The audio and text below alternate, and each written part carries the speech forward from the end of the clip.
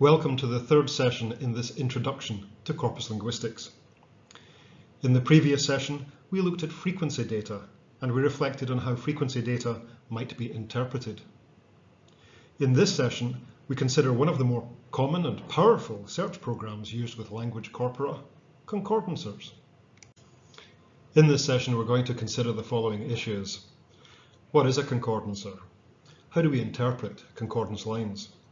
How do we deal with large amounts of data manually? The main source of the activities and examples for this session is Susan Hunston's very useful volume, Corpora in Applied Linguistics, published in 2002. And we're going to be looking particularly at the activities in chapter three of that book. I would recommend taking a look at uh, Susan Hunston's book if you wish further information about the examples that we'll consider in the session. We'll be using some online corpora to check her results and interpretations. First of all, what is a concordance program? A concordancer is a program that searches a corpus for a word or phrase and presents those expressions, or a sample of them, amidst a number of words that come before and after. The central word or search item is often referred to as the node. Or a concordancer is sometimes called a keyword in context or KWIC program. The beauty of a concordance program is that we can pull together a lot of examples of a word or phrase and see those examples in a fairly limited context. Even in a limited context, patterns of usage and meaning should become apparent to the practiced analyst. One issue that concordance programs throw light upon is whether the central or a metaphorical meaning of a word or phrase is typical of its use. We can illustrate this issue by looking at one of Susan Hunston's examples, namely recipe. If you look up the word recipe in a standard dictionary, such as the Oxford Advanced Learners Dictionary online, you will see at least two possible meanings.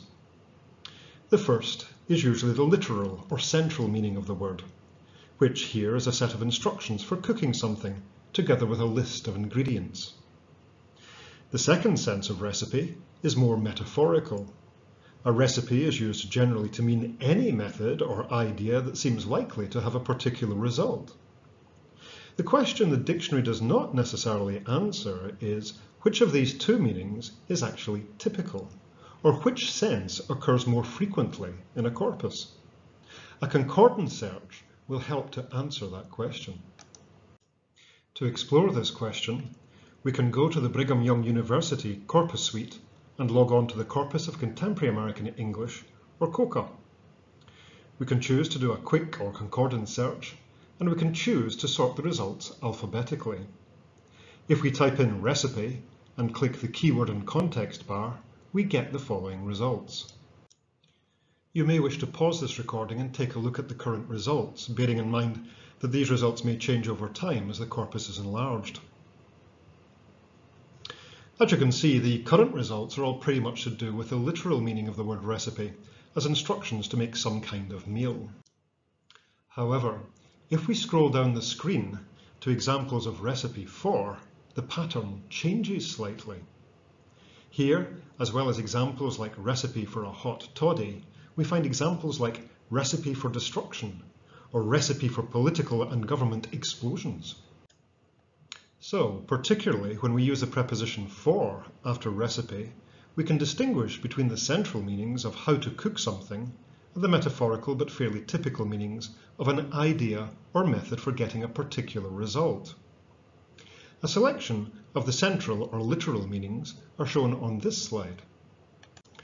And some of the metaphorical meanings are shown on this slide. The results of the metaphorical meanings of recipe can be positive or negative. The negative meanings here are shown in red. The broader question that we are exploring through this example is whether meanings that we recognize intuitively as being central to an expression are or are not typical of its usage. As we can see, the central or literal meanings of recipe are very common, but the metaphorical meaning is also quite typical, especially when recipe is followed by for. When defining expressions or teaching their use to learners then, it is important to include information about typical uses as well as central meanings. And we might also want to include the grammatical characteristics that are associated with particular expressions and their meanings. But one problem with concordancing programs is probably already becoming evident as we work through this example. There is a lot of data to get through. Once we start working manually with corpora of over 520 million words, the current size of COCA, we have literally thousands of examples of common words and expressions to deal with. So how do we cope with this superabundance of data? One of the pioneers of corpus linguistics, Professor John Sinclair, suggested that when we are dealing with large amounts of concordance data, we do the following. First, we look at the first 30 concordance lines and we note any patterns that we might see.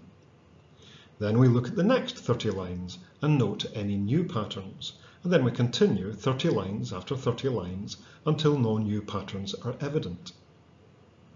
Sinclair called this sifting the data, and it still works pretty well. We can adapt this method slightly to our own purposes. Susan Hunston refined Sinclair's method in her book on corpus linguistics. She suggests adapting Sinclair's sifting technique. She calls this hypothesis testing. First, consider a small selection of concordance lines and look for patterns. Then, do further searches to test your hypotheses and make new ones. Then continue until you have no more new hypotheses to test. We can try sifting or hypothesis testing with another one of Susan Hunston's examples, the common word suggestion, which we can often see around here in the University of Macau campus. To explore the use of the word suggestion, we run a similar KWIC or concordance search in the word, sorting the results alphabetically. If you scroll down and look at the first 30 concordance lines or so, you can see some patterns emerging. You can then look at the next 30 lines and note any further patterns, and so on and so on until no new further patterns emerge. After about 200 lines or so, the most and least frequent patterns look something like this. The word suggestion frequently occurs by itself, or with that. Less frequent patterns are with for and to. We can then begin to look at the patterns in more detail. One way of doing this is by doing the searches again, but this time with suggestion that or suggestion for and so on as a search item. This will bring together particular patterns for us to study. If you look at the results for suggestion that, you'll find that, probably as you guessed, the that phrase usually serves to define the nature of the suggestion. However, if you do a search for suggestion with, for example, you will probably find that the results are not particularly useful. Here, in many results, the with phrase does not go with the word suggestion at all, but with another expression that's part of a larger phrase, like respond with and he responded to the suggestion with. We can discard these results as irrelevant to our study of suggestion. We can also dig deeper in various ways. For example, we can add a part of speech search to our exploration of suggestion by choosing verb infinitive from the POS or part of speech menu on the search page. This search will give us all the verbs that follow suggestion, as in suggestion to do something. This search will give us all the verbs that follow suggestion to. Some results are shown in this page. Bear in mind, your results might be a little different as the COCA content has expanded over time. Even if your results are a little bit different from the ones shown in the slide, they should be enough to indicate a pattern of meaning for this construction, suggestion to. The examples from the corpus shown in this slide will be enough to demonstrate that meaning. Our well-known suggestion to have a joint venture, the suggestion to put Scott in charge, Kathy's day one suggestion to push incremental sales, a modest suggestion to read the Bible, my suggestion to use the seatbelt. In these examples, the to plus verb phrase construction explains the suggestion. This is the typical use of the construction, but there are a few exceptions, as in the following examples. Can you explain the meaning of the to plus verb phrase construction in these examples? He called me at Mr. Foster's suggestion to tell me that a, an accounting firm had been engaged. They used innuendo and suggestion to fan the flames of a tense racial environment. It's not too difficult, is it? Here the construction has a slightly different meaning, namely to express the purpose of the suggestion, for example, in order to tell me, or in order to fan the flames. What about relatively uncommon constructions like suggestion as to?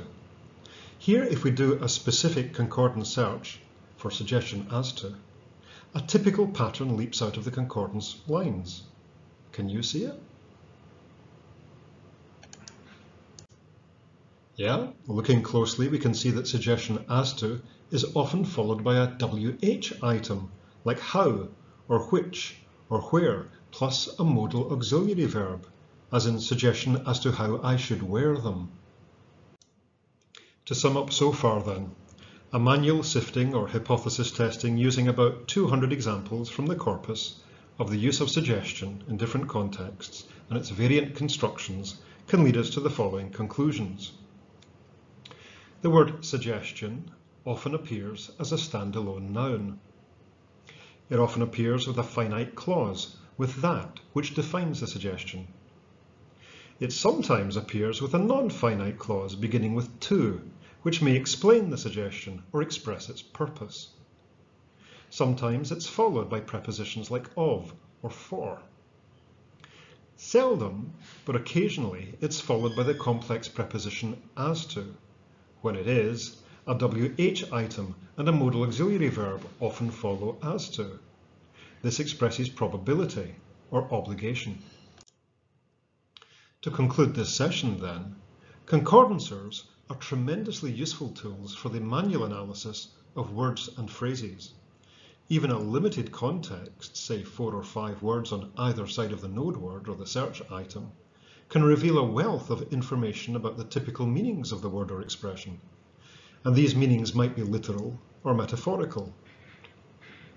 We can see how the senses shift according to how the words and expressions are used in particular grammatical constructions, for example, recipe for seems more likely to be used or more typically used in a met metaphorical sense. Concordances do have their limitations though. We may miss particular patterns even if we sift and hypothesis test. And sometimes more context is needed to understand the meaning or construction that our search item is part of.